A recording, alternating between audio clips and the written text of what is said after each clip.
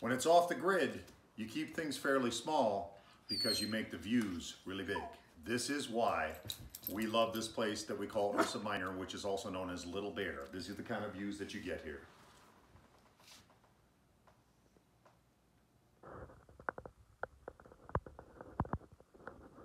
All right, we do have a place to lounge around. It's the only place in this room. We have a little sofa for you here. If you have a smaller uh, guest that's with you, they might be able to sleep on there if you'd like. You've got your queen bed here.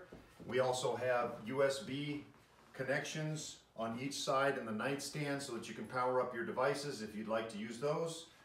And we have overhead lighting so you can have reading accessible right next to your bed.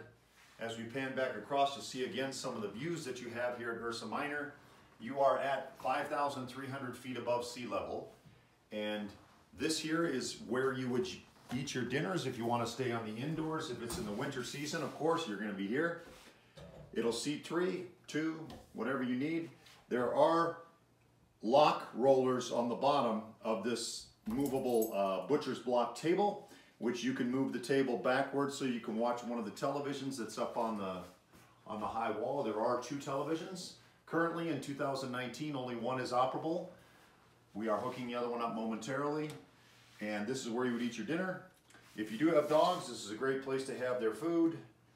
Uh, over to the side here so that when you're eating, they're eating. And we have a miniature refrigerator. It's not very big, but it's got enough room for you to stay here for a short period of time. We have a freezer on the top, refrigerator on the bottom. We do have a grill oven, a standard grill oven, which also serves as your toaster. And we have a standard microwave oven. They're pretty self-explanatory. You do have a temporary cooktop, which will be replaced very soon with a four burner stove.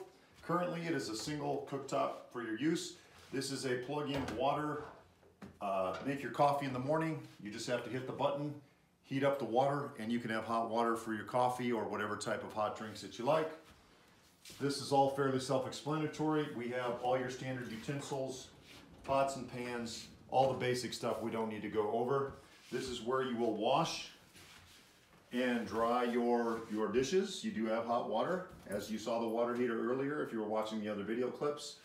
Anything that's here you can use. Any food that's in the refrigerator or freezer while you're here, you can surely eat it all up if you want. All right, this is uh, the, this goes up to the loft and the city ordinance tells me that I need to tell you that it is not meant for human activity, it is meant for storage. So if you have something you need to store up there, feel free to utilize the hook and ladder. It hooks on one of the the uh, rungs there and it is about 120 square feet up top. When you add that to the bottom floor, it makes it 440. the part you're living in on the inside, 320 square feet.